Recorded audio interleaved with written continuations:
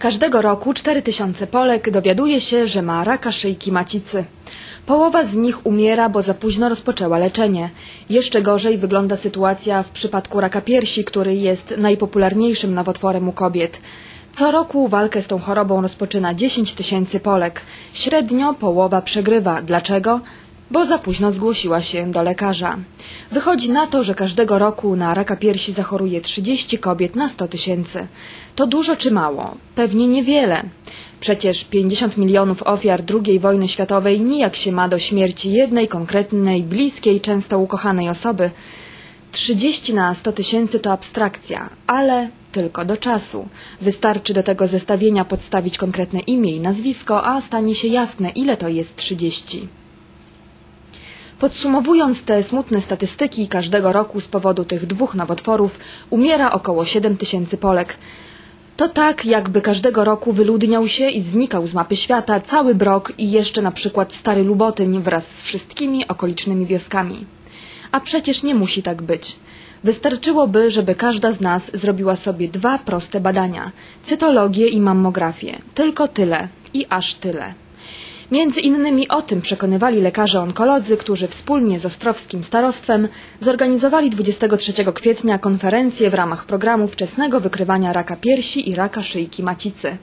W spotkaniu uczestniczyli przedstawiciele, przede wszystkim jednak przedstawicielki organizacji związkowych, związków zawodowych, instytucji powiatowych oraz dyrekcja Ostrowskiego Szpitala. Nieprzypadkowo na miejsce konferencji organizatorzy wybrali właśnie powiat ostrowski. Zajmujemy bowiem niechlubne pierwsze miejsce na Mazowszu, jeśli chodzi o niezgłaszanie się kobiet na badania profilaktyczne. Taka zgłaszalność jak obecność wójtów na dzisiejszym spotkaniu podsumowali organizatorzy, zwracając jednocześnie uwagę na nieduże zainteresowanie konferencją samorządów gminnych. Tymczasem to właśnie edukacja jest najskuteczniejszą metodą uzdrowienia tej chorej sytuacji. Kobiety muszą wiedzieć, że badanie jest niezwykle ważne i że koniecznie trzeba się na nie zgłosić. Program wczesnego wykrywania raka piersi i raka szyjki macicy jest zaproszeniem na bezpłatne badania dla każdej z nas. Na mammografię powinny zgłosić się przede wszystkim kobiety w wieku od 50 do 69 lat, na cytologię panie w wieku 25-59, które nie miały w ciągu ostatnich trzech lat takiego badania. Dlaczego taki właśnie przedział wiekowy? Otóż, jak podają statystyki szpitalne, na raka szyjki macicy najczęściej chorują 30 i 40-latki, natomiast ryzyko zachorowania na nowotwory piersi wzrasta gwałtownie po 50. Pamiętajmy, że oba te badania robimy sobie nie po to, by wykryć raka, tylko po to, by upewnić się, że jesteśmy zdrowe.